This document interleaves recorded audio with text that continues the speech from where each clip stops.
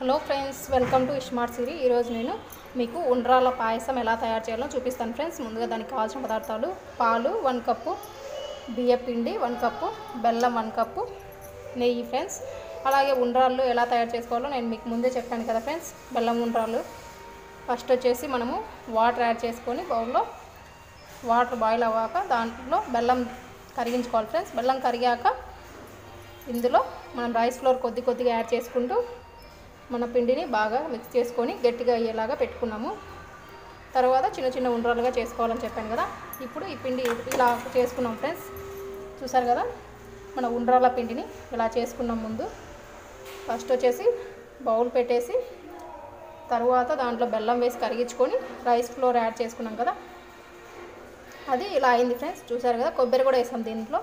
ఇలా చిన్న చిన్న ఉండలుగా చేసుకోవాలి ఫ్రెండ్స్ మనము. అలాగే ఇప్పుడు స్టవ్ మీద గిన్నె పెట్టేసుకొని ఇందులో పాలు యాడ్ చేసుకుంటున్నాం ఫ్రెండ్స్. నెయ్యి వేసి పాలు యాడ్ చేసుకుందాం.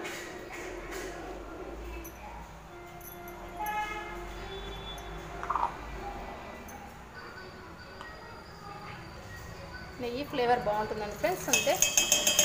నెయ్యి యాడ్ చేసుకొని ఇందులో పాలు వేసుకుంటున్నాం.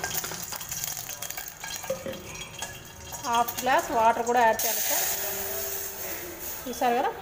పాలు పాలు వేసేసాము. ఇవి కాచి చల్లార్చిన పాలు ఫ్రెండ్స్. ఇందులో కొద్దిగా వాటర్ యాడ్ చేసుకుంటున్నాం. ఇవ పాలు అనేది బాయిల్ అవ్వాలి ఫ్రెండ్స్. చూసారుగా కదా ఫ్రెండ్స్ మన పాలు కూడా పొంగొచ్చాయి.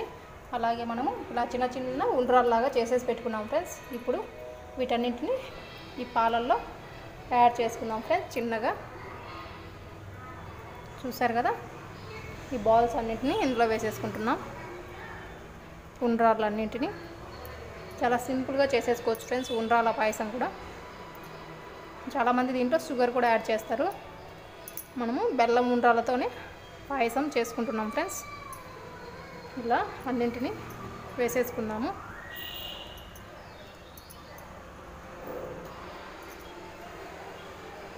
చూసారు కదా ఇలా మొత్తం అన్ని ఉండ్రాలను ఈ పాలల్లో వేసేసుకొని ఒక five minutes ten minutes boil చేసుకున్నాం ఫ్రెండ్స్. మనం సపరేట్గా స్ట్రీమ్ చేసుకోవట్లేదు ఇందులోనే ఉడికిస్తున్నాం ఫ్రెండ్స్.